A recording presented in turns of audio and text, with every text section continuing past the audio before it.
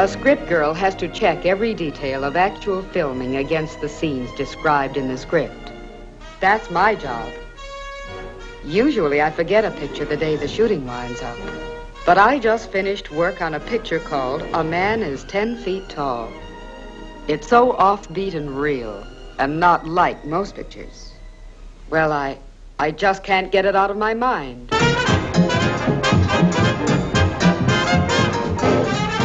A Man is 10 Feet Tall is about a kind of relationship you've never seen on the screen. John Cassavetes, who I think is a sure bet for stardom, is terrific as a man who's always in trouble.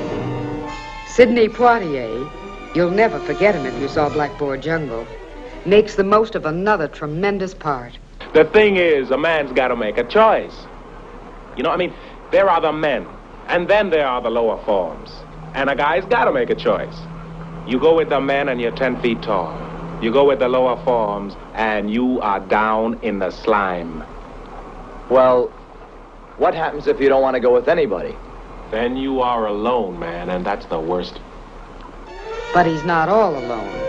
There's the girl, Kathleen Maguire. She's not the type you'll find in the soap opera. Jack Warden is completely believable as the kind of guy who really is the lowest of the lower forms of life. Charlie, he's nothing. I mean, he can't hurt you. He can't hurt you. Like in my life, Charlie ain't that much. Well, that's the difference between us, T. Because in my life, it's all Charlie. Look, T, I'm in trouble.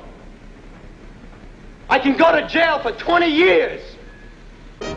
A man is 10 feet tall, looks at real life, and looks at it without batting an eye.